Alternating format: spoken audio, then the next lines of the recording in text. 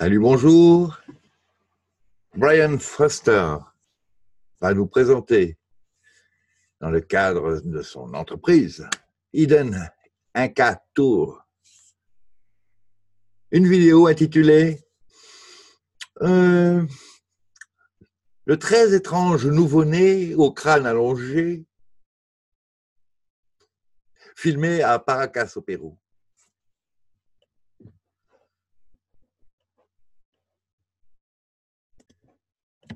Dans ce baluchon, nous dit Brian Foster, sont les restes d'un crâne d'enfant de la culture de Paracas au Pérou. Sur la côte du Pérou, il y a entre moins 800 avant Jésus-Christ jusqu'à 100 après Jésus-Christ, l'implantation de ce peuple c'est un crâne allongé, on vous prévient. Et les estimations sont que c'est soit un nouveau-né jusqu'à âgé de trois mois après sa naissance, au moment de sa mort. Je vous fais le dépacking, ça calme. On plaisante. It is still in the funerary wrappings of cotton elle est encore emballée dans un tissu funéraire de coton dans lequel il a été trouvé à l'origine.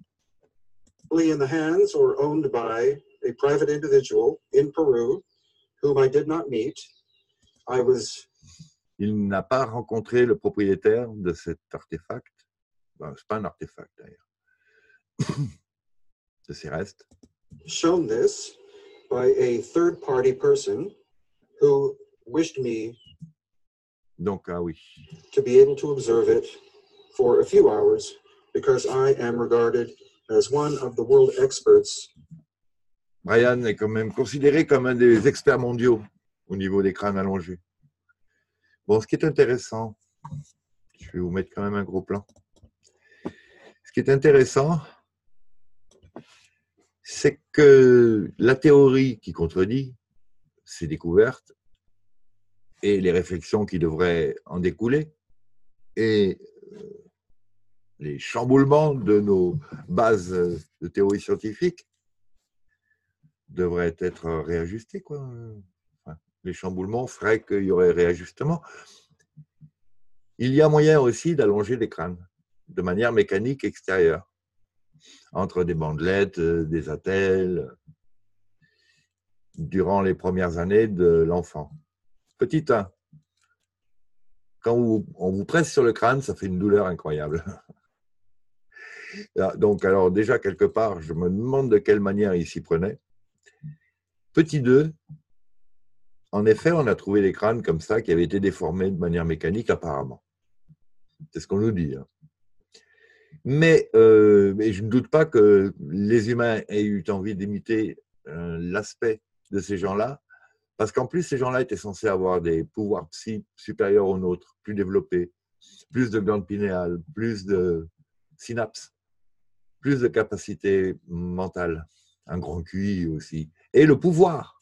Le pouvoir. Alors, euh, évidemment, vous essayez de ressembler aux maîtres locaux quand vous êtes euh, dans la cour. Hein. Et donc, vous déformez vos enfants. Mais là, en l'occurrence, euh, une déformation extérieure n'a jamais provoqué un volume intérieur qui soit supérieur à celui d'un crâne qui ne serait pas déformé. Or, ces crânes-là ont un volume intérieur supérieur. Et pas que ça. Hein. On a vu avec, euh, quand on voit vraiment la, le crâne, on a vu que les plaques osseuses, la forme des orbites, le trou euh, qui permet le passage du canal rachidien. De, nombreux aspects sont différents de la morphologie humaine. Alors là, on peut constater une pièce remarquable, incroyable, d'autant qu'il y a encore des cheveux qui sont brun-roux. Alors, on, sait plus ou moins, hein, grâce aux études ADN que Brian Foster a mis en place aussi, de la même manière qu'il y a cette euh, analyse ADN sur les corps desséchés de Nazca, il y a aussi cette, euh, enquête qui est ouverte du côté de Brian Foster depuis longtemps, depuis bien avant. Et ça me prend un temps fou aussi. Et de façon à être euh, irréprochable, il fait des comparatifs avec plusieurs laboratoires indépendants, civils, enfin, etc., etc. Et tout ça coûte euh, pépette. Oui, oui, oui. Vous voyez, quand euh, vous voulez avoir une analyse d'ADN pour vous, pour savoir si vous êtes plutôt né de ce côté-là de la montagne ou de l'autre, ou de la mer, ou de la planète, de ce côté-là de la Lune. bon, euh, ça vous coûte trois fois rien. Hein vous avez des publicités partout. Quand ça coûte rien, c'est vous le produit. Là, ça coûte une fortune. Bon, c'est pas les mêmes euh, analyses vraiment, c'est beaucoup plus risqué euh, et long et, difficile d'obtenir des, des éléments probants avec du matériel qui a donc déjà à peu près 2000 ans, hein, à peu près. Donc, on voit qu'il a le crâne allongé et on voit qu'il a du poil roux.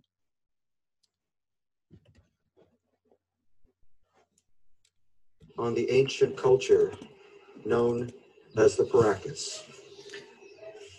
Il est reconnu comme étant un paracas, si on peut dire. Je ne sais pas si vous venez d'avoir, euh, comme moi, à l'instant, le rappel mémoriel du crâne de Nefertiti avec euh, sa coiffe. Hein? Vous voyez ce que je veux dire?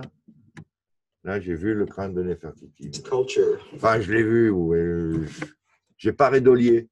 Paracas. Regardez ça. Là, là, déjà, là, ça devient assez fort. Parce qu'il y a un angle, vous voyez, donc ça, ça remplace le maquillage. Ah C'est- Now, the first obvious thing you can see Bon, je vous fais pas, je vous partage, mais, are the eyes, the mais je pense pas que je me trompe de beaucoup non plus. hein. Donc, parce que ces crânes-là, on les trouve partout, jusqu'à la mer Noire. nose, and the mouth area. The mouth is incredibly tiny. Il a une toute petite bouche, nous dit Brian, The eyes appear to be quite large. des grands yeux, trop grands, et la forme des orbites n'est pas la même que la nôtre. The most astonishing aspect Ils sont plutôt carrés, les leurs, rectangulaires, par rapport aux nôtres qui sont rondes, donc, enfin, ovoïdes. of course, is that if it died at childbirth, Euh, de manière évidente, s'il est né en âge précoce, or three months old, ou vers trois mois, that it is at least twice the size il a au moins une tête qui fait deux fois la, la taille of a normal d'un enfant normal. Oui, en fait, euh, vous arrêtez avant la bande de poils et vous avez la taille d'un crâne normal d'enfant. Hein.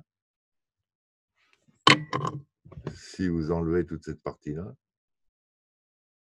vous avez le crâne normal, vu d'ici aussi.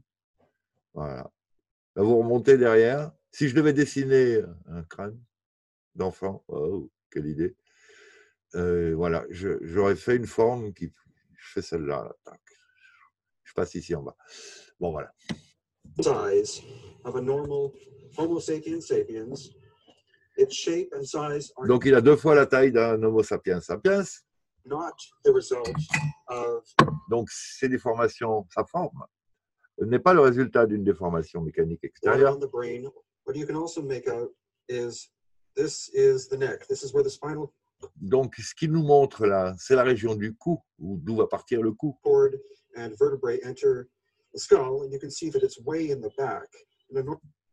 Et c'est bien plus en arrière que chez nous. normal human, it's in the center.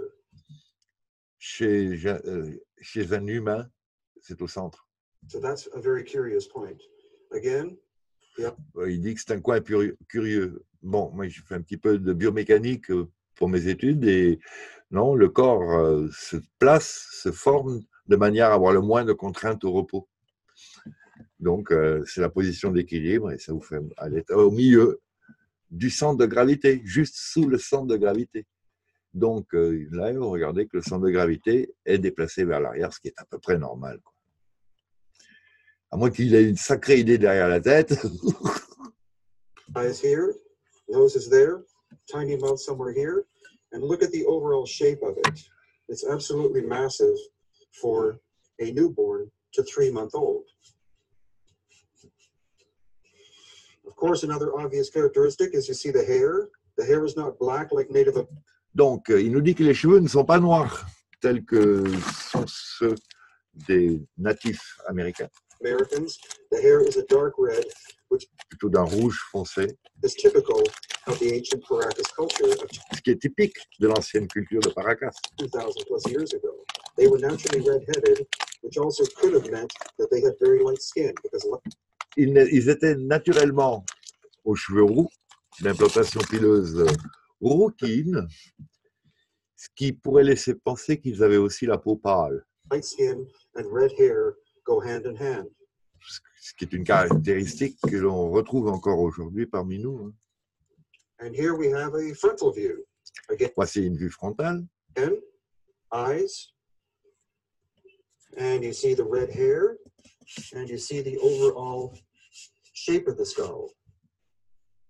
Vous voyez bien les cheveux ici, hein, toute cette partie-là, là, c'est les cheveux. Donc, je l'ai pris le plus en HD possible, la vidéo. Now, is this the result of cranial Ah, là, on voit qu'il y a une petite mèche. Vous voyez la mèche, là? Donc, ce matin, elle n'est pas son gel. Oh. deformation or head binding? Because if it was only newborn or possibly Alors, en plus, si vous constatez, plus on s'éloigne euh, du front, plus le crâne s'élargit. Si vous faites une déformation qui allonge, vous allez avoir du mal en plus à, gagner en longueur et en largeur, puisque vous l'enserrez. Si- vous voulez euh, avoir cette tête-là, là, la tête de Mars Attacks, euh, il faut vous mettre le crâne dans, dans une, am- une am- une ampoule à ventouse, qui vous permettent, hein, excusez-moi. Donc, euh, voilà, l'argument comme quoi euh, tombe à l'eau. Euh, D'un autre côté, au niveau de l'ADN, il n'en a pas encore parlé, mais il y a 70% d'ADN terrestre, 30% d'ADN pas terrestre, inconnu, en tout cas, en général. Bon, c'est un chiffre très global et là, il n'en a pas parlé pour ce cas-là. hein, donc, euh, ne faites pas après dire Oui, ce que je n'ai pas encore dit. Non, non, je vous, mets sur la piste de réflexion. Il y avait une espèce qui s'est déplacée sur Terre, de l'Himalaya globalement, quoi, jusqu'aux Andes, globalement, et qui a disparu de manière assez incroyable et qui parfois, semblerait-il, a hybridé euh, l'humain, l'homo sapiens sapiens. Enfin, ils ont fait les petits, quoi. Alors, ça ne veut pas dire que ce soit eux-mêmes qui les aient faits. Hein. Peut-être si ça se trouve, c'était encore une expérience de la part de la race Ziti qui élève autant les crânes allongés que les humains, enfin, ou d'une autre qui, elle, s'est spécialisée dans les crânes allongés. Ah oui, oui, non, non, non, non, parce que ça, ça remet les, pré- les, les prétentions en place. Euh, tous ceux qui sont, font passer pour des dieux sortent d'une éprouvette. euh. Donc, bravo, quoi. Bravo. Bah, ça veut dire qu'il y en a toujours un qui tient l'éprouvette quelque part. J'allais dire une connerie. Excusez-moi. Et, euh, et ça va être dur de sortir maintenant. Non, mais là, je peux pas. C'est trop tôt. Et puis, il y a des enfants qui regardent. Euh, et donc, euh, ça repousse encore euh, d'un théâtre. hein. Pour ceux qui suivent mes dernières vidéos, j'ai fait une comparaison avec le, monde dans lequel on vit et la scène d'un théâtre. Donc, on pourrait sortir de cette scène hein, et voir le monde autrement déjà. Voilà. Et, etc. Et, et qu'est-ce que c'est quoi J'en suis où là? Bah tiens, souffleur. Reprenons. then that would not be enough time to do headboarding, which normally takes between six months and three years. il faut entre six mois et trois ans de ligature crânienne avant d'obtenir un effet, un résultat visible sur un crâne. Donc déjà, en plus, s'il a au maximum trois mois, c'est c'est pas assez. And then on the other side of the Mais je sais même pas pourquoi on parle de ça. Là. On ne peut pas obtenir par compression un volume su- supérieur à l'intérieur. Euh, Il faudrait que ça, ça amoindrisse l'épaisseur euh, des parois, ce qui n'est pas le cas. skull, again, here's the eye, the left eye, very tiny nose, very small mouth. It would be Bon, il est très sale là, hein, sur le côté, là, hein, quand même.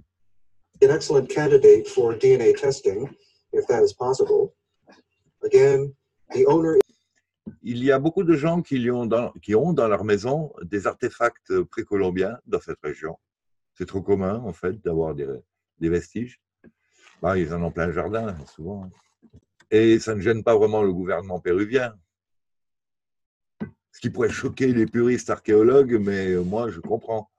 Je veux dire, c'est comme en Bretagne, le gars, il a un menhir, c'est encore bien sympa quand même quand euh, il laisse piétiner toutes ses terres, parce que ça tasse la terre, et ça, c'est pas bon pour la culture, ou pour afin que les touristes puissent visiter le menhir, ou, vous voyez,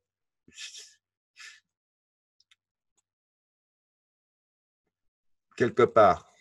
Bon, en plus, pourquoi est-ce qu'on embête des gens qui, en général, n'ont que peu de moyens, alors que du Smithsonian disparaissent des pièces?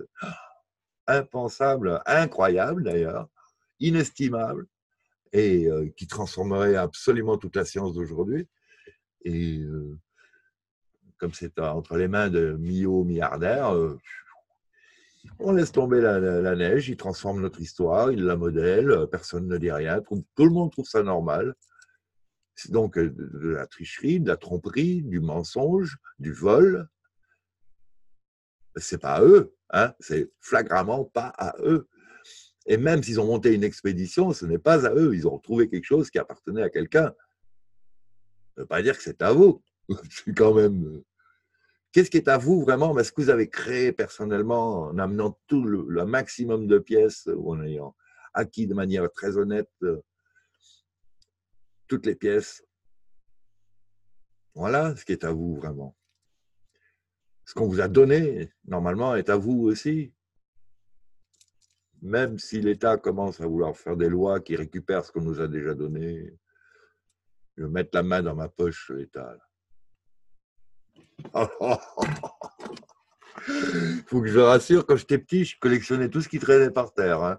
Lame de rasoir, clou rouillé. Alors, vas-y, fouille. tu te débrouilles. Et je te signale que le tétanos, comme c'est une maladie non immunisante, ne peut pas proposer une situation dans laquelle quelqu'un aurait inventé un vaccin. C'est pas possible. Des T polio, c'est quand même pour tétanos. Donc, entre la diphtérie, la diphtérie et la polio, on nous balance des produits dont on peut se passer, puisque le lendemain, vous pouvez choper le tétanos.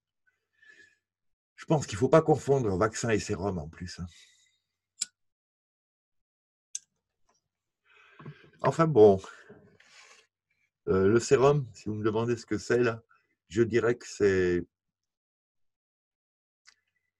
Ce sera un extrait préparé du sang de quelqu'un qui a guéri de la maladie et qui a donc dans son sang les anticorps qui manquent euh, cruellement à la personne qui vient d'être euh, touchée par l'attaque de tétanos, en l'occurrence.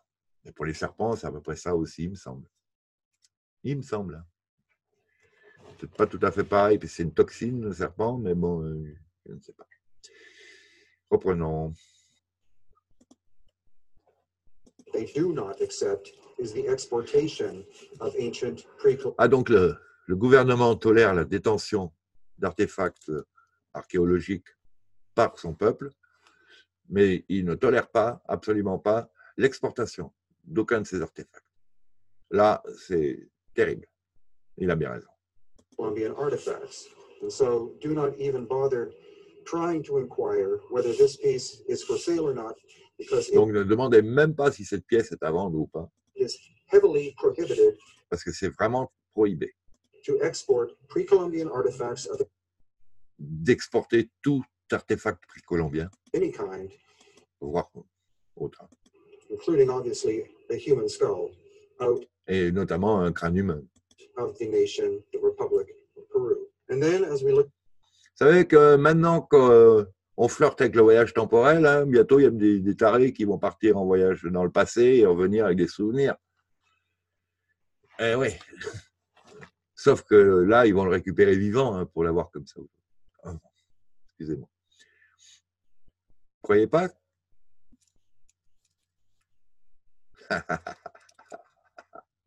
La situation.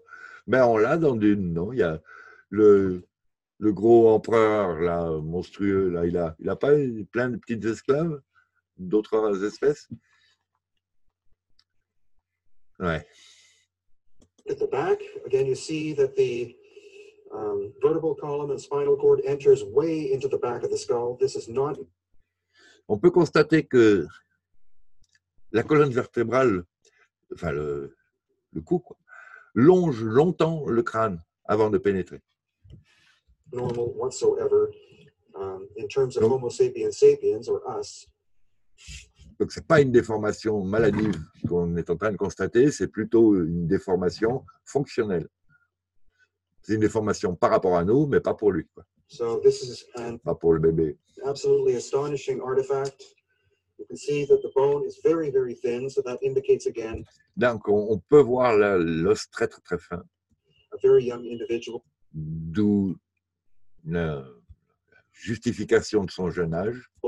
You can see some of the original textile still attached, and sand and things like that. On peut voir des petits bouts de textile encore qu'il emballait et du sable. Mais après, pas de diatomée, là. Pas de terre de diatomée. So again, Peut-être sur le front, remarquez. a quick overview, location of the vertebrae and uh, fi- spinal Donc, vous voyez là les vertèbres en plus. Là, euh, moi, je dirais Atlas, Axis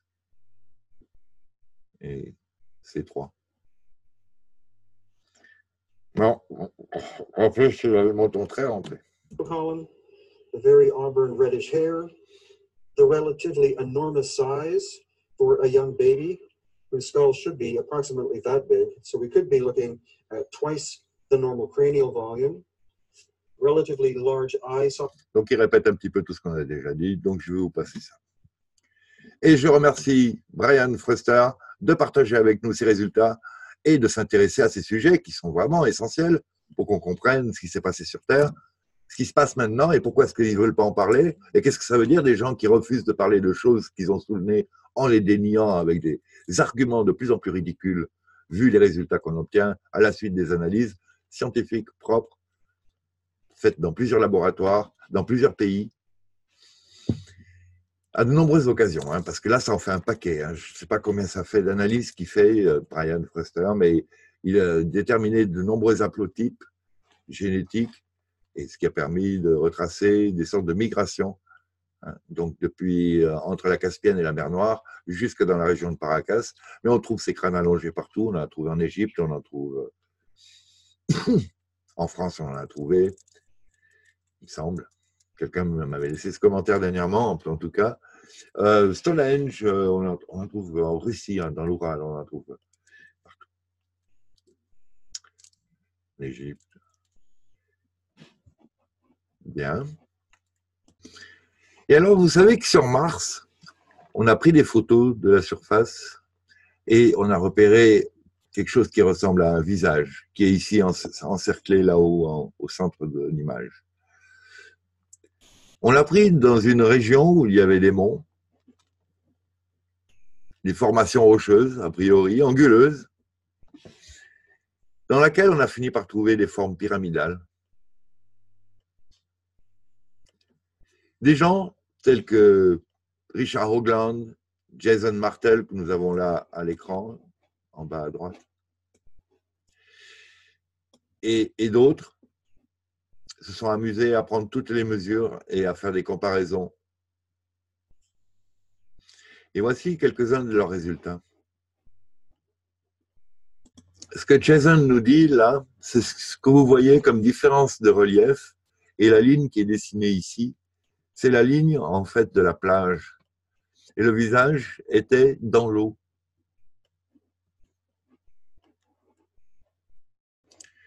Et ici, nous sommes donc en bas de l'écran, nous sommes euh, sur la Terre, sur Mars. Euh, pas dans l'eau, dirons-nous. Donc, vous le voyez là depuis un autre angle, et vous voyez la limite de la côte. Alors, euh, il y a d'autres euh, mesures qui ont été prises, et puis là, ils ont dit, mais attendez, ça, ça, c'est très pyramidal.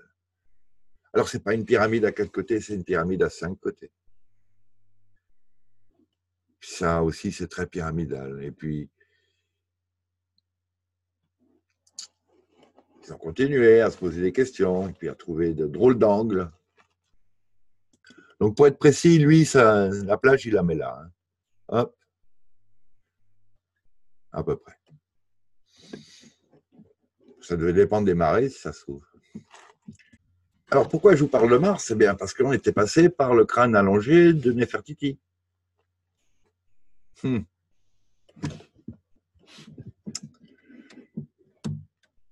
Et donc, à force de chercher, ils ont comparé avec la région d'Avebury. Vous savez qu'il y a de nombreux monticules et autres mégalithes, structures, formations très anciennes. Même des endroits comme euh, Salisbury Hill, cette petite colline conique particulière, même euh, cette digue, on retrouve à Avebury la même configuration que sur Mars, à l'échelle 1 quatorzième. Et l'échelle 1 quatorzième, c'est la différence qu'il y a entre deux coudées égyptiennes, la royale et une autre, me semble-t-il, ou la coudée martienne et la coudée égyptienne.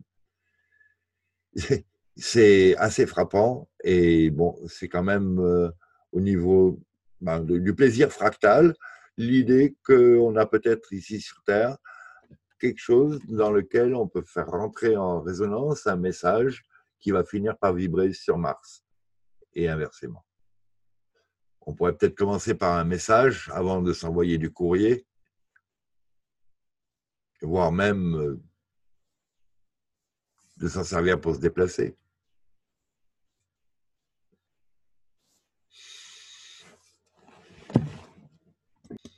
Ici, il y a une image comparative donc du sphinx et de la tête sur Mars. Le problème avec cette tête, si ça avait été un hasard, c'est que justement, elle ne serait pas encadrée du même genre de collerette qui est là, euh, configurée par la, coiffe sur le sphinx euh, de Gizeh. Voici un des schémas de cartes de chercheurs de trésors qu'ils ont fini par construire. Donc, nous avons une image de Mars, ici la pyramide à cinq côtés, ici le visage, là d'autres éléments, la, falaise. Et quand on prend les angles que ça forme sur Mars, on obtient les mêmes angles vraiment que ça forme sur Avebury. Et à l'écran, là, c'est Richard Hoagland, il y a quelques années déjà, on peut le dire. Ce que nous rappelle Richard Hoagland, c'est que si vous mettez une pyramide, un tétraèdre, non, ce n'est pas un tétraèdre celui-là, c'est une pyramide. Un tétraèdre a quatre faces. Et une pyramide en a cinq quand on compte la base, qui est comptée là? Quand on l'inclut dans une sphère, quand on l'inscrit dans une sphère, telle qu'une planète, l'endroit où vont toucher les pôles sera à un angle de 19 degrés 47, 19 degrés 5, on va dire. Il nous faut une base avec une surface du tétraèdre qu'on va prendre pour 1, une aire de la sphère qu'on va prendre à 2.72. 2.72, c'est un chiffre euh, mathématique, un nombre mathématique euh, remarquable et spectaculaire. Le ratio entre les deux, 2,72 différent par 1, divisé par 1. Et la base du logarithme naturel 2.718281. Et c'est le chiffre qu'on appelle E, il me semble. Donc, qui cite ici, d'ailleurs, E est égal à 2.720699. Alors, je ne me rappelle plus, est-ce que c'est le logarithme de 1 égale 0 logarithme 0, je ne sais plus. Oh logarithme 0 infini, logarithme égale 0, et logarithme de E égale 1. Me semble-t-il. Ouh là là, ça c'est lieu. Enfin, toujours est-il que ça explique qu'à cet endroit-là, sur les planètes, eh ben, sur Mars, on, on a quoi? On a plein de choses à cet endroit-là sur la planète. Par exemple, là, on a Sidonia. Et puis sur Terre, on a Hawaï et, et un autre volcan ou un autre site particulier. En fait, il y a vraiment une configuration, il y a des effets électromagnétiques visibles sur les planètes à ces endroits-là. Donc, ils ont vraiment choisi cet endroit-là pour installer Sidonia. Qui a installé ça? Ben, Les Martiens.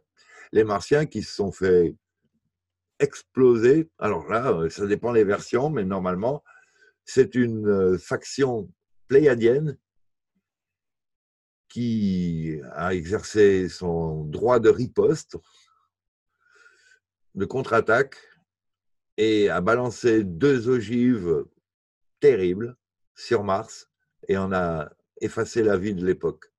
Mars était une Terre, on va dire, avec euh, tout ce qui va avec, euh, atmosphère, eau, verdure, population, civilisation. Et donc, il y a eu des conflits. Alors,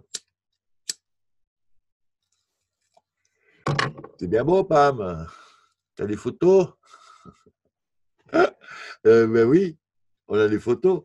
On a les photos des résidus des explosions nucléaires que l'on peut décider avec un, radio, radiotélescope.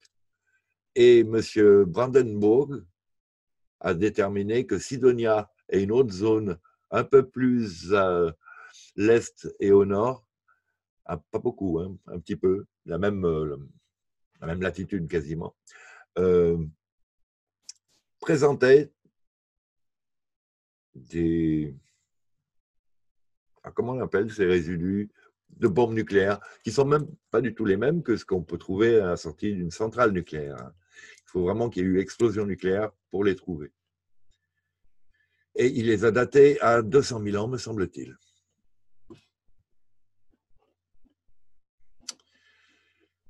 Oui, même daté à 200 000 ans. Mais ça, je demande vérification. Et après, on fera le comparatif. Qu'est-ce qui s'est passé il y a 200 000 ans sur Terre Quels sont les changements flagrants de civilisation qu'on pourrait estimer?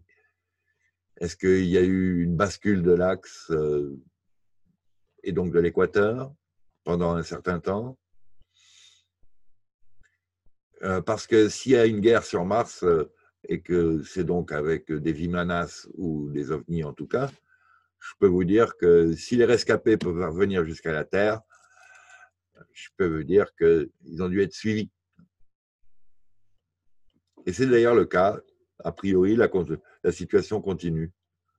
On a deux genres de gens sur Terre, des qui respectent la vie et des qui ne respectent pas. Mais enfin, globalement, ça fait plein d'espèces tout ça. Donc là, je m'aventure un peu loin pour ma, ma réflexion. Donc ici, une image pas très nette de la pyramide à cinq euh, faces. Ah, mais, oui, il y a eu une guerre. Et là, on voit bien une des faces, en tout cas. Alors, les cinq faces ne sont pas les mêmes. C'est ça qui, gêne, qui m'a gêné moi très longtemps.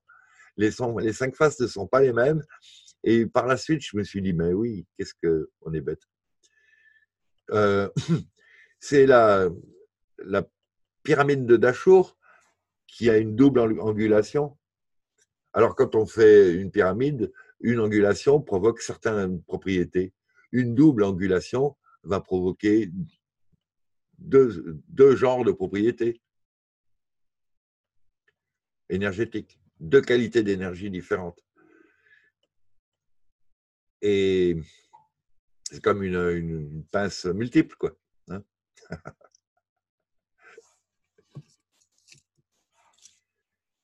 Et donc, euh, là, ils avaient l'impact euh, d'une des géométries et de l'autre en même temps aussi.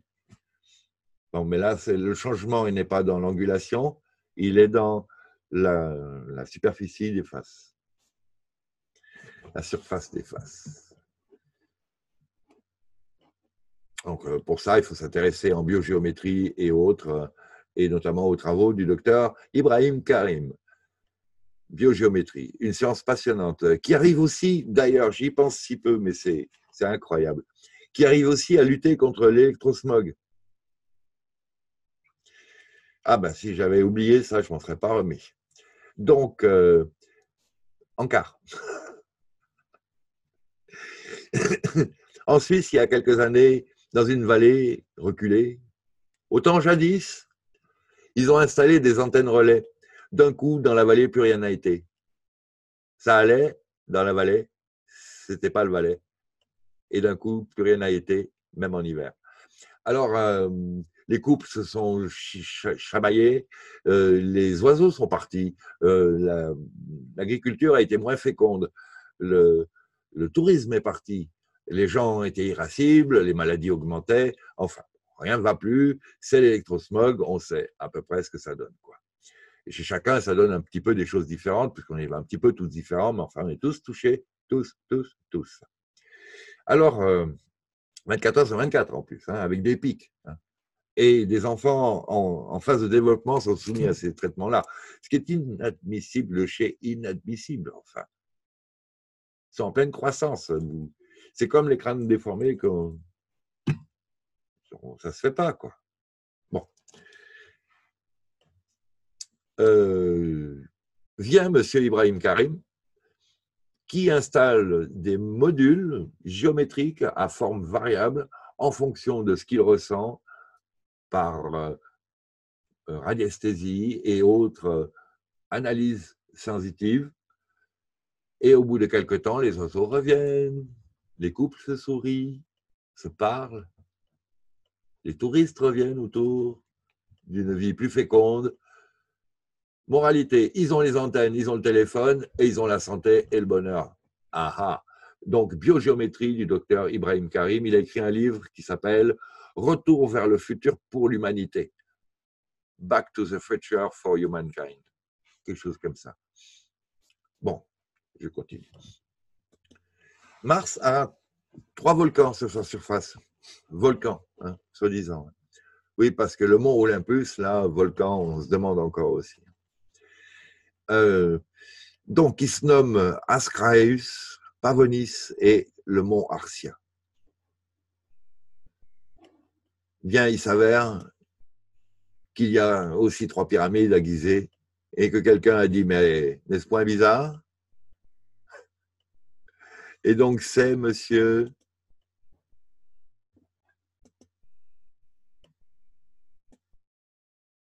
Un ingénieur allemand en 1977. Donc, il ne nous a pas donné le nom là, a priori.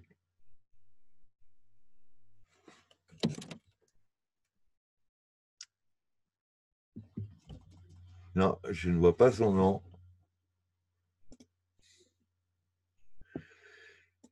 Donc on peut se demander, on peut se demander.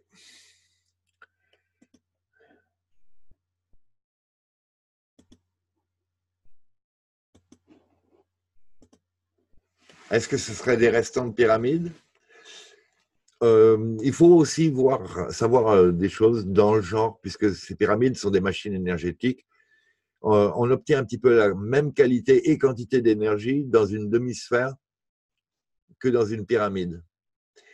Donc, est-ce qu'on peut élargir ça au cône?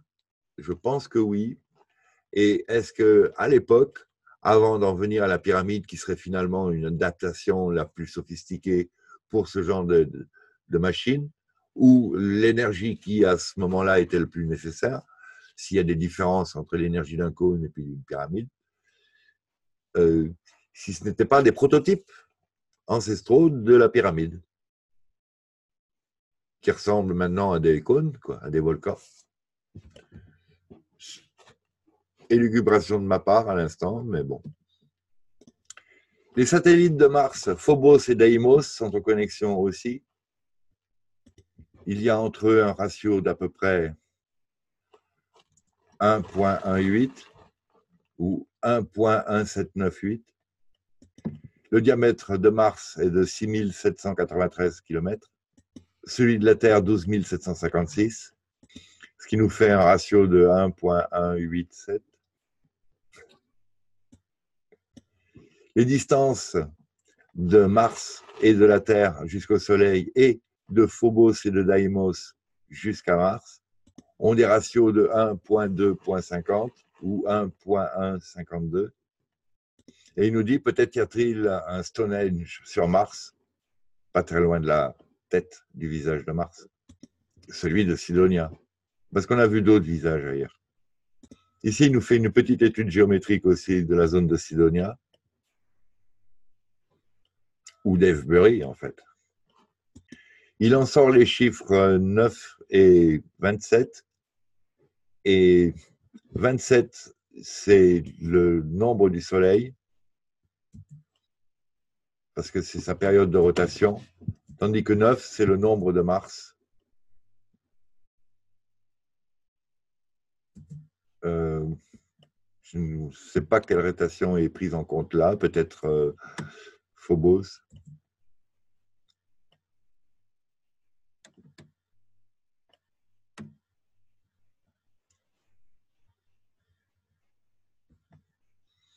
Le nombre 27 est compris dans de nombreuses représentations architecturales égyptiennes, de nombreuses mesures des pyramides égyptiennes.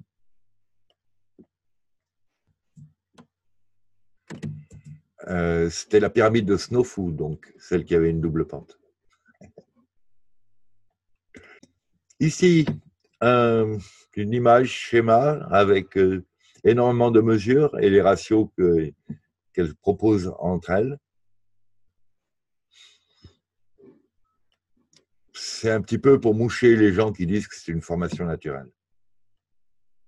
Et après, pour ceux que ça intéresse de travailler sur les énergies des pyramides, c'est intéressant pour savoir déjà ce qu'ils avaient fait. Donc ça, c'est au moins quelque chose qui a dû marcher. On peut aussi sortir à partir de la spirale de Fibonacci des raisons des implantations des, des divers euh, édifices.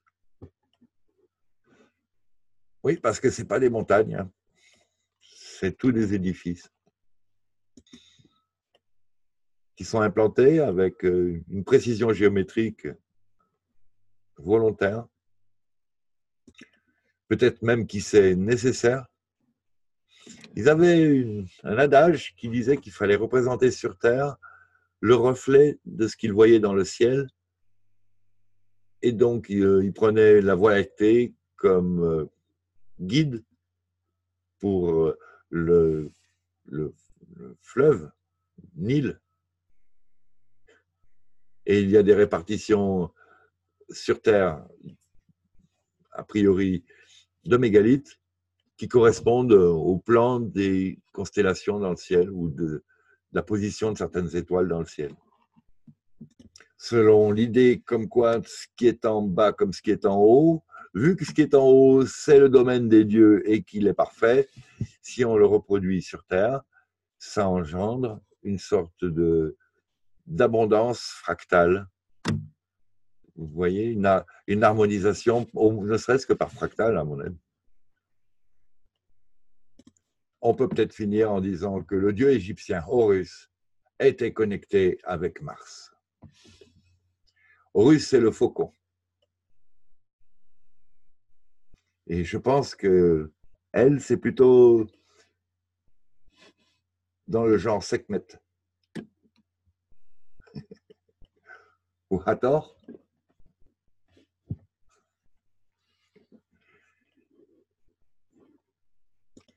Et j'aurais eu du mal à finir cette vidéo, bien, bien, bien loin de clore le sujet déjà, sans parler au moins, quand même un tout petit peu, de ce que nous voyons là à l'écran. Non, non, non, non, ce n'est pas l'étoile de la mort. C'est, c'est un crâne qui a été trouvé il y a très longtemps au Mexique, dont Lloyd Pye a fini par pouvoir enfin faire l'acquisition et les analyses qui s'en suivaient. Donc, Lloyd Pye, que nous voyons ici à l'écran, avec l'essentiel de son travail, enfin non, pas l'essentiel du tout, mais enfin un des points prédominants finaux de son travail, parce que dès qu'il a pu avoir tous les moyens, que les résultats s'accumulaient, que tout allait dans le même sens, il a déclenché une maladie fulgurante qui l'a emmené en six mois. Voici ce crâne. Alors, euh, je sais, je sais, j'en ai déjà parlé un jour, justement avec Brian Foster aussi. Il me semble bien. Donc, euh, mais c'est pas très grave, on peut en reparler. Ce crâne a plus de capacité interne, de volume interne. Il a des yeux plus rapprochés, une mâchoire trop petite pour manger la même chose que nous. Il a un équilibre crânien avec un trou pour laisser passer le canal rachidien décalé et calculé. Hein. Il a une qualité d'os qui se rapprocherait plutôt de la dent, de la dentine, euh, de l'ivoire dentaire.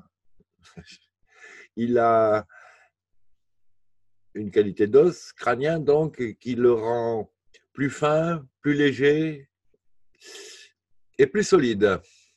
Et oui, à l'intérieur, on trouve des fibres, quelque chose qui n'existe pas, un petit peu comme si c'était du, une structure euh, armée, hein, avec des filandres, comme quand vous mettez des bouts de ficelle dans votre mortier de façon à le solidariser, dans votre plâtre.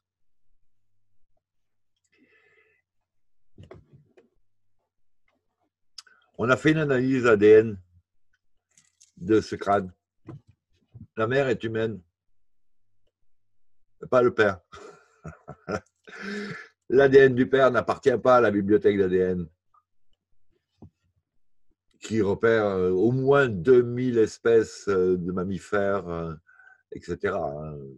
Deux ou 5000. Enfin bon, la, la bibliothèque d'ADN humaine, on va dire. La référence de base. De la même manière que pour les crânes de Paracas, vous avez ici vu de face et vu de profil, un crâne humain à gauche de l'enfant des étoiles à droite, et puis sur la partie droite, pareil, l'enfant des étoiles à gauche et humain à droite. Donc, on, remarque que la partie de la nuque est aussi très aplatie, comme pour les crânes allongés. On, on remarque un volume crânien bien supérieur, c'est-à-dire qu'une fois de plus, euh, le visage est quand même la partie du crâne la plus serrée. Tout le reste du crâne est plus large. S'élargit tout de suite. Donc ce crâne a été trouvé en 1930 à 100 miles au sud-ouest de Chihuahua. Donc euh, sur la carte, c'est le point qui est bleu là, sur lequel je mets ma flèche. Il a été trouvé dans une vieille mine, un tunnel dans un environnement désertique, par une jeune fille qui se promenait. Donc elle arrive dans le tunnel, elle voit un squelette et puis un gros tas de poussière, de, débris, de je sais pas trop quoi, d'où émerge une main.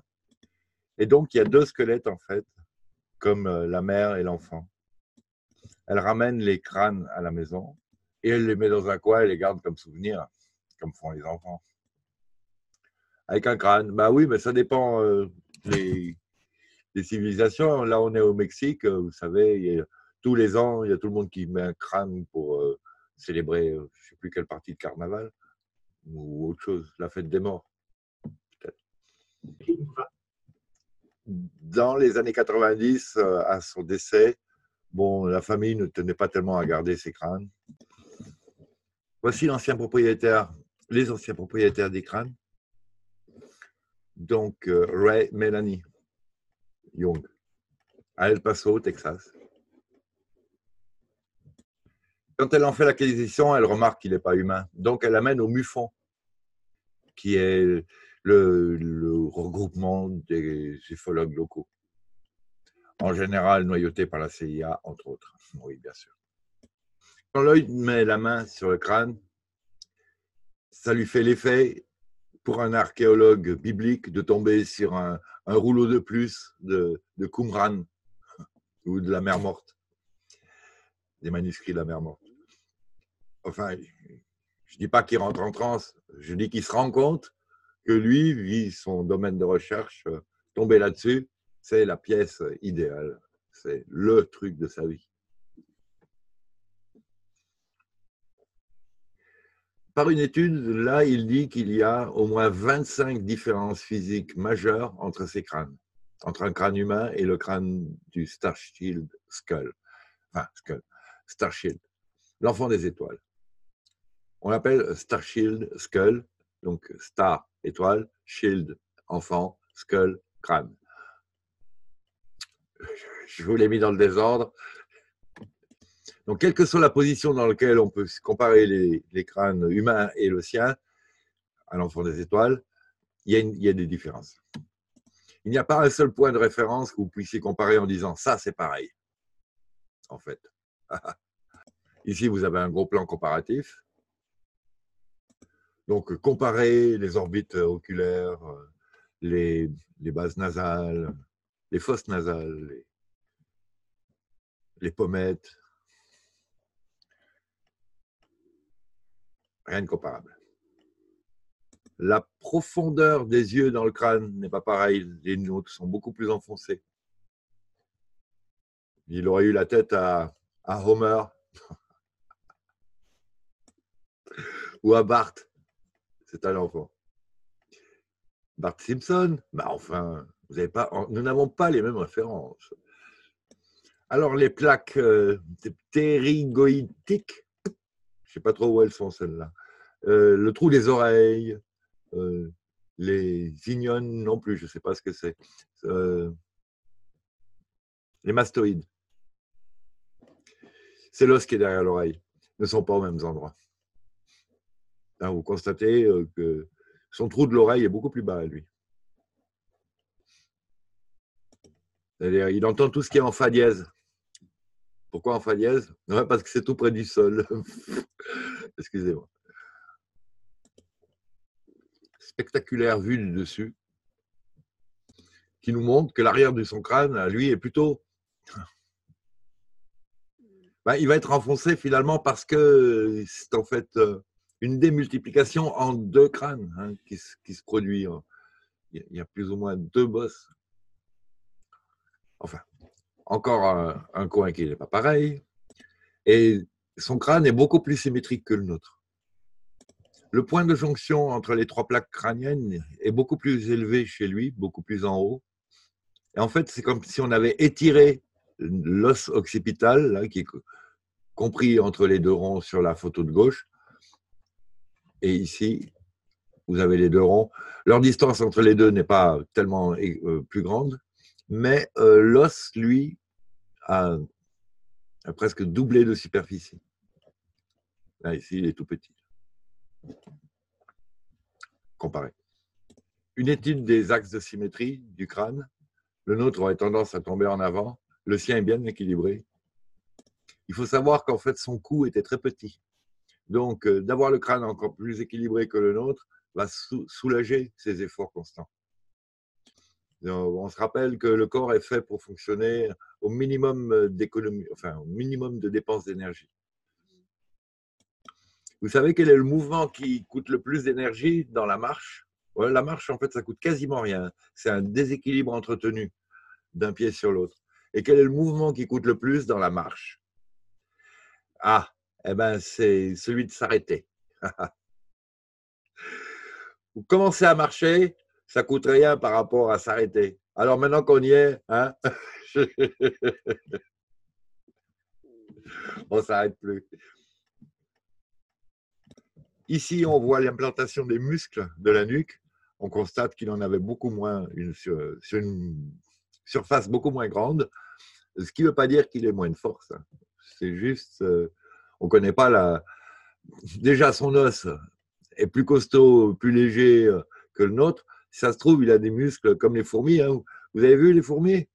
Elles n'ont pas de muscles et puis elles soulèvent sept fois leur poids, euh, au minimum. Alors bon, vous en connaissez beaucoup des gens qui soulèvent sept fois leur poids. Et quand ils y arrivent, ils sont légèrement tankés. Donc, ce n'est pas, pas le volume là, qui, qui va faire. C'est la qualité des fibres musculaires. Je suis beau d'or. En fait, quand ça marche, a comme des aimantations des fibres les unes par rapport aux autres. On n'a qu'à imaginer des aimants plus costauds, des différences de potentiel entre le calcium, le potassium ou d'autres éléments chimiques qui sont dans les fibres musculaires, qui bâtissent les atomes des muscles, qui sont euh, que des différences de potentiel plus, grandes entre les deux éléments. Ça fait un aimant plus grand et ça fait plus de force. à mon avis. De la même manière qu'il avait une petite mâchoire, il avait aussi peu de muscles masticateurs. Enfin, a priori, et euh, comme je disais, ça ne veut pas dire qu'il ne mordait pas plus fort non plus, hein, si ça se trouve. enfin, son implantation est plus réduite. Il passait pas son temps à bouffer, lui, ça c'est sûr. Ou il mangeait que du truc comme de la glace.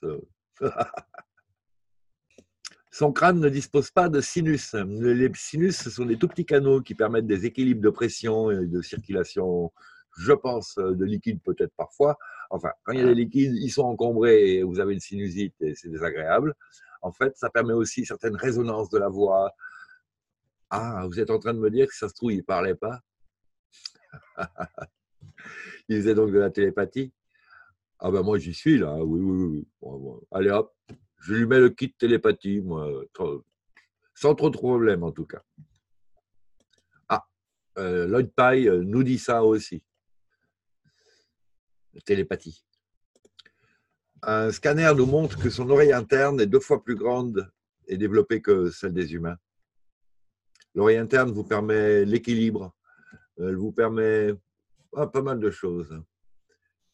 Il y a d'autres adaptations aussi du corps en fonction des pressions qui vont faire que vous allez avoir besoin de plus ou moins d'oxygène. Donc, euh, ça veut dire qu'il faut accélérer votre cœur. Donc, ça veut dire qu'il faut une hormone pour que votre corps accélère. Et ça veut dire qu'il faut que le cerveau dise Je manque d'oxygène, donc il me faut plus. Et donc, ça viendra du cœur. Et donc, il faut telle hormone. Et euh, tout ça, donc, euh, ça, part du capteur qui est dans, à mon avis, hein, en tout cas, dans l'oreille interne. Il y en a un, ne serait-ce que tous les plongeurs savent bien que les pressions se régulent à partir de, du complexe, justement, des petits sinus qui relient en général les canaux euh, de l'oreille, enfin, le trou, l'oreille et le nez, et les yeux. Et les yeux. Euh, ouais, ouais. Voilà, euh, je connais des gens qui arrivent à faire sortir de l'air par les yeux. Ça se voit bien quand ils sont à la piscine. Quand ils font ça, il y a l'air qui sort par les yeux. Oui, c'est assez drôle.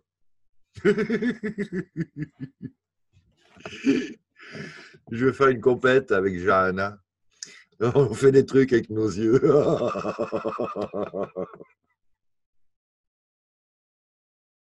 Excusez-moi. Non, mais euh, on est en pleine diplomatie galactique. Puis moi, je commence à faire des gags.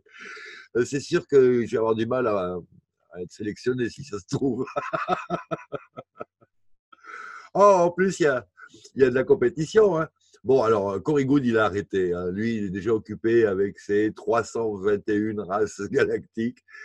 1, 2, 3, 3, 2, 1, je ne sais pas. Euh, sinon, il y a euh, Alfred Weber qui aussi dit que c'est le meilleur pour être guide galactique. D'ailleurs, il a déjà écrit un bouquin de futurologie, d'exopolitique, établissant le, système de l'univers tel qu'il l'a ressenti ou tel qu'il veut en tout cas qu'on y croit. Donc, euh, ben, il y a des multivers, il y a tout ça. C'est pas, pas aberrant. Il s'y connaît bien en, exopolitique. Euh, de temps en temps, il invite des gens un petit peu borderline, je trouve quand même. Et euh, ces derniers temps, ben, il, a, il, goûte au C60. Il y a un nouveau produit aux États-Unis qui s'appelle le C60. Carbone et 60 parce que c'est des nanotubes de carbone qui sont organisés de telle manière que, a priori, ça régénère euh, le corps. Il retrouve la mémoire, il rajeunit et tout ça. Bon, on en est quand même on est à l'étape des, tests, hein, je veux dire. Et donc, euh, il en prend et ça lui convient, ça lui réussit. Et du coup, ça stimule vachement d'ailleurs euh, c'est un peu étrange peut-être, vous me direz, mais je ne sais pas. Il a toujours, sur vous, il a toujours un peu été comme ça. ça stimule sa, sa prétention à devenir le, l'interprète galactique pour, pour l'humanité. Je me moque un petit peu là des bègues. Non, non, pas du tout. Euh, il est un peu bègue, euh, Alfred. Et à part quand il est lancé sur euh, une plaidoirie, peut-être, parce qu'il est juge hein, quand même. Hein. Donc, normalement, il doit pouvoir tenir une plaidoirie. C'est un avocat ou un juge qui bégaye. Je ne sais pas si ça passe tellement bien lors des, des sessions de la cour. Mais voilà, bon, ben, que dire, que dire. Le C60, eh ben voilà, encore un, produit qui, qui booste, qui rajeunit. Je ne sais pas. Donc, ils ont fait la promotion.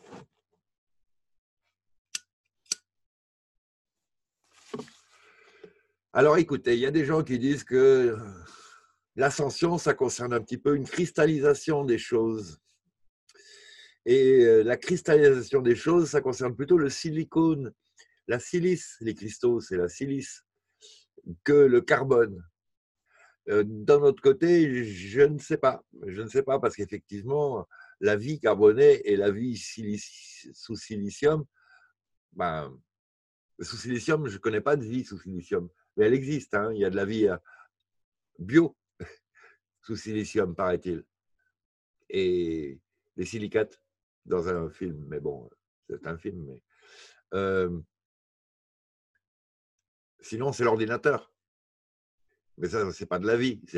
Hein, l'intelligence artificielle de l'ordinateur n'est même pas d'ailleurs une intelligence, et de toute façon, elle est artificielle, elle n'est pas autonome.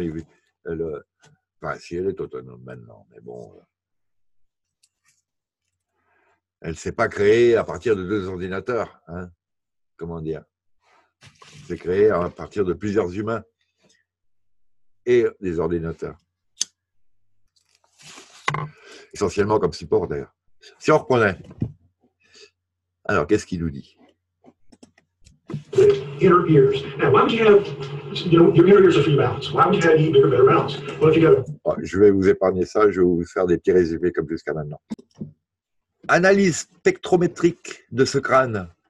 Les pointes en carbone et en oxygène et la, la, le manque de phosphore et de calcium établissent un niveau bien plus haut en collagène. L'os de l'enfant des étoiles est bien plus ressemblant à l'émail et bien plus dur donc que l'os. L'émail des dents. Carrément. Oui, je n'avais pas dit l'émail euh, tout à l'heure. Si? Non, je crois pas. Sa mâchoire contient une molaire qui n'était pas encore euh, sortie. Je ne vous explique pas la gueule de la souris sur sa planète à lui. C'est des souris volantes. Ben, c'est des battes souris. Excusez-moi. Donc, euh, voici une des, molaires, qui a été extraite. Euh, ce n'est pas celle d'un enfant, hein, ce n'est pas d'un jeune enfant. Une liste de spécialistes qui ont officiellement témoigné qu'ils n'avaient repéré sur ce crâne aucune déformité qu'ils connaissent. Quelles sont les critiques les plus courantes? Ben, On dit que ça a été une déformation faite euh, mécaniquement, un petit peu comme les crânes allongés. Bon, ils se débrouillent pour faire la forme là. On dit qu'il avait de l'hydrocéphalie ou de la progérie. Euh, et donc, euh, il va développer, c'est ni l'un, ni l'autre, ni le troisième. Pourquoi est-ce que les gens insistent là-dessus? Ben Parce que comme ça ne correspond pas à ce qu'ils connaissent, ils refusent d'admettre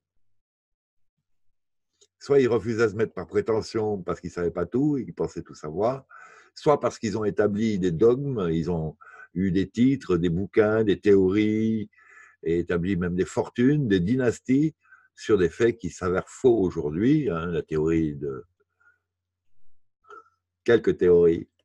Et euh, ça les gêne un petit peu d'avouer la vérité, parce qu'ils perdraient tout, et leur famille aussi, le standard, le standing euh, et la totale. Alors maintenant, ils volent, ils trichent, quoi, voilà, comme d'habitude.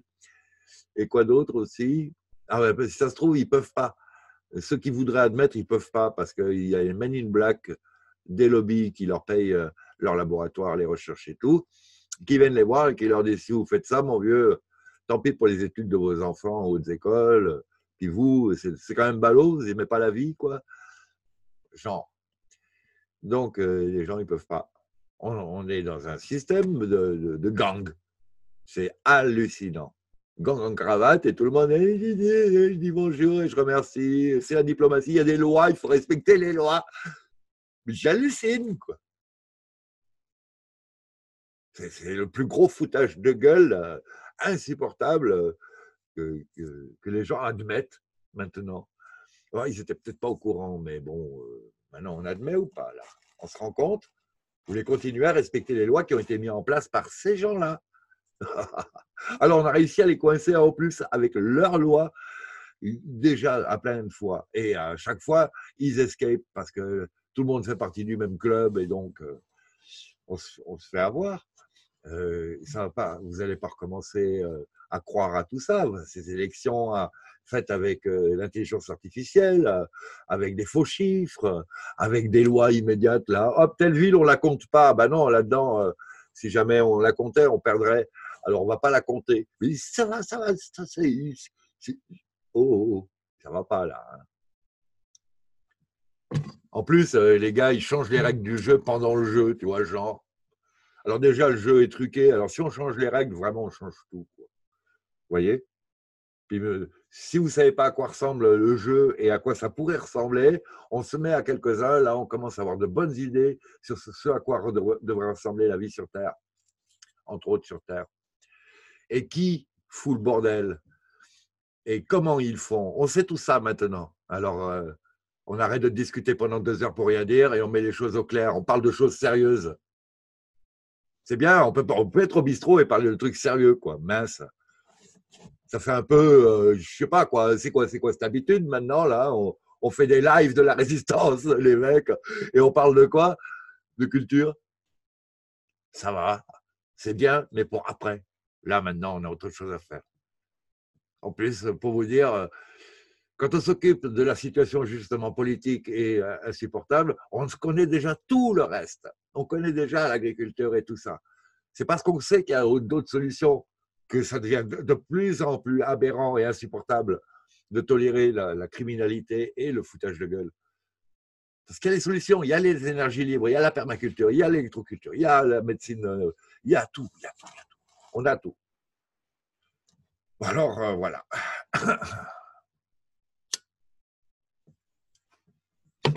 Alors voilà. Je sais bien, petit à petit, chacun son rythme. D'accord. Mais depuis quand est-ce que les derniers arrivés mènent le, cortège? Ce pas les premiers, les derniers arrivés au Tour de France qui sont en tête du peloton. Hein. Ils ne tiennent pas le rythme, c'est normal. Ils ont plein de choses à apprendre. Ils ne savent pas se doper. Je rigole. Maintenant, ils ont des moteurs dans le, vélo. Les gars, si ça se trouve, ils sont sous Valium.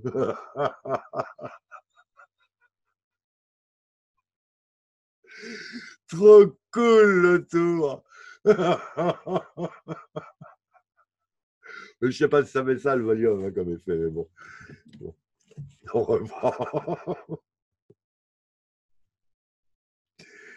Ah oui, il y a vraiment des petits moteurs, ils sont gros comme un doigt, même pas. Vous le mettez dans l'axe de la roue. Et les gars, ils ne veulent pas admettre les caméras infrarouges qui repèrent ça tout de suite. Ah, pourquoi vous ne voulez pas admettre ça? Mais c'est pas trop louche, ça, c'est comme les caméras pour euh, les, les, buts euh, ou, au tennis. Les caméras avec des scanners aujourd'hui au millimètre, vous savez si c'est rentré dedans, si c'est pas rentré dedans, et si et quoi. Qui a touché même Vous pourriez même faire ça. Qui a touché la balle Avec quelle partie de son corps Tout pourrait être écrit.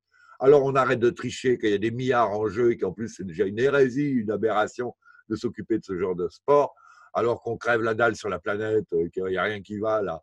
Et ils font quoi les sportifs en ce moment, rapport aux gilets jaunes là? Il y en a un qui a fait une cagnotte. Euh, pour aider les Gilets jaunes. Il y en a un qui se sent du peuple, là, où ça y est, c'est bon, là. Depuis qu'on bouffe de la côtelette en balai d'or, euh, c'est pas comme ça qu'on absorbait l'or à l'époque. Mais bon, voilà, une fois de plus, on a la thune, on n'a pas la culture. Alors évidemment, derrière, c'est la catastrophe. C'est science sans conscience. Là, c'est les jeunes arrivés qui ont une Porsche et qui à 280 à l'heure font un accident sur l'autoroute.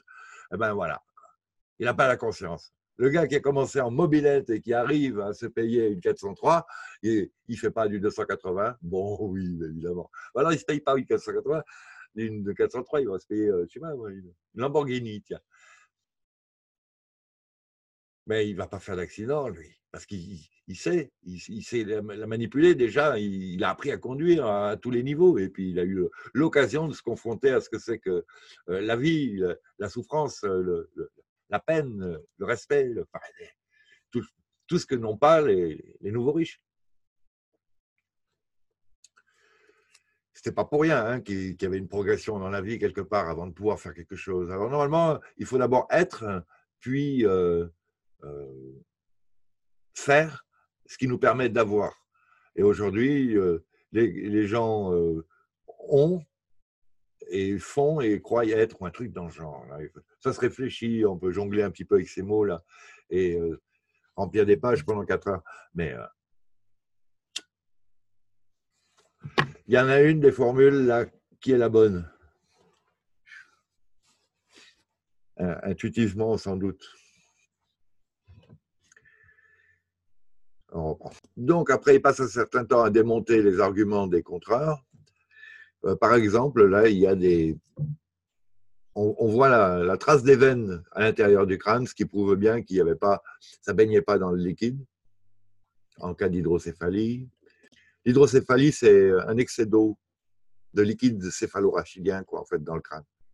Euh, c'est très grave, hein, vous pouvez mourir assez rapidement. Ça chasse le cerveau hors du crâne et ça le fait passer par le trou en direction de la colonne vertébrale. Ça crée un syndrome d'engagement et euh, vu que c'est le, le, cervelet qui commence à descendre et que c'est l'endroit où il y a les, commandes nerveuses pour la respiration, le cœur et tout ça, vous, allez assez rapidement très mal.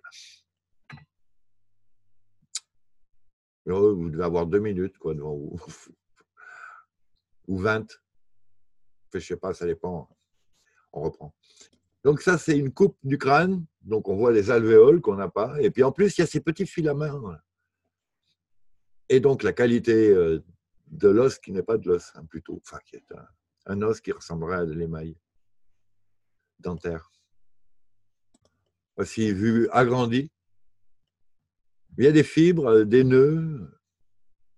C'est vraiment ça, biomécaniquement parlant, j'imagine tout à fait l'effet. On sert, de, on ça quand on construit une cabane. On fait des nœuds qui vont qui vont pas passer dans la fente, donc ça bloque. Euh, on tend, on sous-tend dans diverses directions, ou on prend une poignée de, filasse et on, la met dans le mortier. Donc voici deux coupes d'os, humains et de l'enfant des étoiles. Donc on a tous les deux les alvéoles. Me suis dit qu'on n'avait pas d'alvéole, je me suis trompé. Nous, quand on meurt, on a des bactéries qui vont commencer à décomposer le, corps. Et chez un corps humain, donc, euh, dans un, dans un, os humain, il ne va rien rester à l'intérieur de ce qu'il pouvait y avoir comme moelle et tissu bio mou. Tandis que dans le crâne de l'enfant des étoiles, il reste une légère petite substance qui n'était pas de la chair, donc, parce que sinon il y aurait eu du sang mais c'est autre chose. Et ils n'ont pas les moyens, ils n'ont pas eu les moyens financiers pour pouvoir analyser ça. il, est fou là. Il dit on a ce truc incroyable qui propose euh, des capacités en général, enfin qui fait partie d'un tout euh, de, capacités accrues par rapport à nous. On, a ça entre les doigts. On en a l'extrait et euh, personne ne veut investir pour l'analyse. Non, ils ne veulent pas qu'on évolue. C'est une preuve de plus. Alors, à propos d'ADN, chez l'homme, on a des trillions de cellules. Chaque cellule a 46 chromosomes humains, 2 mètres d'ADN, 3 milliards d'unités d'ADN, les bases ACTG, et approximativement 30 000 gènes codés pour que des protéines puissent fabriquer la plupart de nos fonctions vitales. subvenir à la plupart de nos fonctions vitales. Le premier test d'ADN a été réalisé en novembre 1999 au laboratoire Bold de l'Université de la Colombie-Britannique au Canada. Donc, c'est un laboratoire officiel d'université et ils ont contaminé les résultats. Ils disent qu'il y, a des, y a des chromosomes XY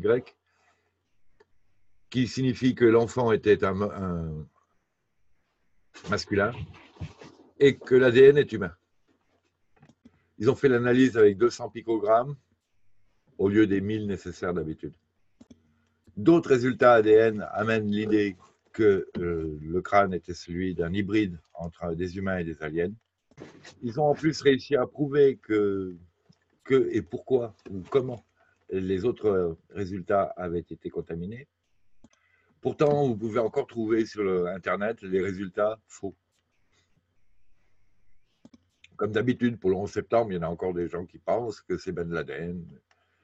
Le rapport officiel du FBI exonère Ben Laden de participation au 11 septembre. On ne peut pas dire mieux. De toute façon, c'était un agent de la CIA. il participait quelque part, en fait, mais pas pour le FBI. Euh, on reprend. Dans la nature, il y a des anomalies. Parfois, il y a, une anomalie. Lui, il a, il a 700 anomalies par rapport à ce à quoi il devrait ressembler s'il était terrien et humain. Alors, il y a toute une série d'analyses d'ADN que je vous passe. Je vous montre un petit peu la tête euh, qu'on aurait reconstruit avec euh, le laboratoire des experts Miami de cet enfant des étoiles, hybride entre un IT et une humaine, compatible. Euh, peut-être en laboratoire, hein, allez savoir, mais bon à la fin compatible. C'est ce qui ne veut pas dire qu'il n'aurait pas, lui, été stérile, peut-être. Hein. Alors, euh, est pragmatique et il dit euh, Je pense que nous devrions suivre les principes de vie de mon pote Bob, qui était à la rue euh, depuis, euh, enfin, qui s'était pas remis du passage de l'ouragan Katrina, et donc qui tenait un magasin, là, d'antiquité orientale, a priori. Et donc, il n'y a plus de vitrine hein, qui a été explosée. Et donc, euh, sur les panneaux de bois qui remplacent la vitrine, il a peint facilement. N'essayez même pas. Je dors à l'intérieur avec un gros chien, une femme horrible, deux fusils à pompe et un, pistolet à clous.